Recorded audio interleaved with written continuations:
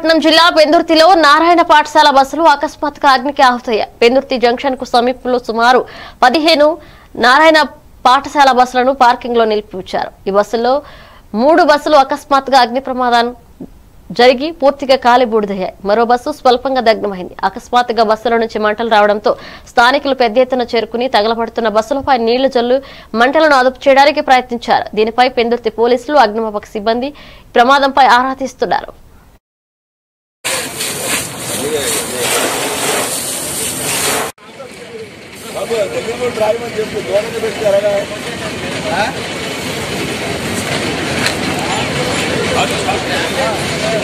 ఇవ్వచ్చు కదా వచ్చినప్పటికి నేను కూడా ఫైర్ ఇంజిన్ ఫోన్ చేస్తున్నాను అవ్వట్లేదు. నేను ఇంటి దగ్గర నుంచి ట్రై చేస్తూ వస్తాను అక్కడ నుంచి.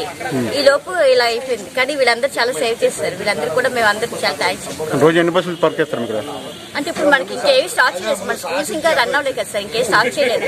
మిగతా కూడా సార్ పర్మిషన్ తీసుకొని అది ఇక్కడ వాండర్ పర్మిషన్ తీసుకుని ఇక్కడ పెట్టారు. ఈ లోపు అంటే స్కూల్ స్టార్ట్ అయితే ఎక్కడికి అవి వెళ్ళిపోతాయి మూవ్ అయిపోతాయి. ఈ లోపు ఇలా అయ్యింది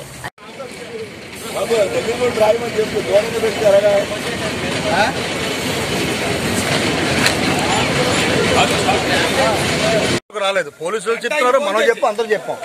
అంటే మనకి పెందుతులు అందుబాటులో లేదు మన దురదృష్టం సర్వీస్ అందు అందుబాటులో లేదు. అంటే కొత్త వలస నుంచి కానీ సబ్బా నుంచి కానీ రావాలా? ఇక్కడ ఇక్కడ కానీ ఉంటే ఇక్కడ కానీ ఉంటే మనకు సరిపోను. ఆ. ఫస్ట్ ఆ బస్ కాలిపోయింది కాలిపోగల పొగలు రాగల మొత్తం జనం అంతా వచ్చి అపార్ట్మెంట్ వాళ్ళు అందరూ వచ్చి ఇసుక కానీ ఇంట్లో ఇసుక మొత్తం కష్టబుక్ అన్ని వేసి మొత్తం అంతా ఆరిపోయారు మూడు బళ్ళు.